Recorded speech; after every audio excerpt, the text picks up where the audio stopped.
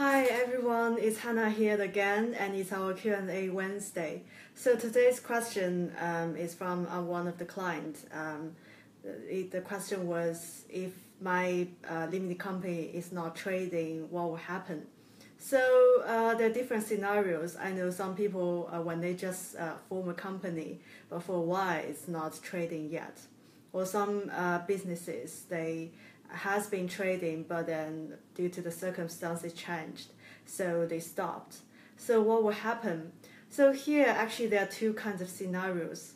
One is uh, people like no sales because most of people think there's no sales coming in means not trading. But the other scenario is the company is dormant completely, so no sales and no expenses.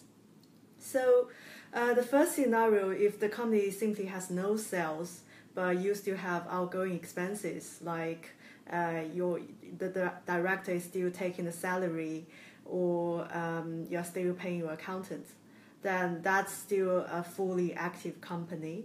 Uh, then the full responsibility like your annual accounts filing and the company tax return, these are still uh, there. So you still have to take care of them, uh, submit by, the deadline. But what if your company is dormant? So dormant means there's no sales coming in and there's no expenditure coming out. So it's completely quiet.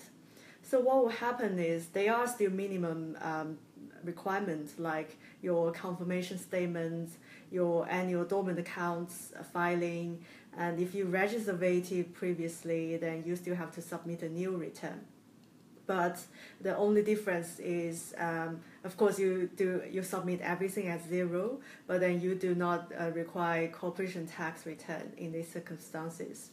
So when you uh, start a company not trading yet, or you uh, be, you have been trading but stopped, so just evaluate which kind of scenario apply to you, and you ha- have an idea um, what will happen to a company, what are your responsibilities.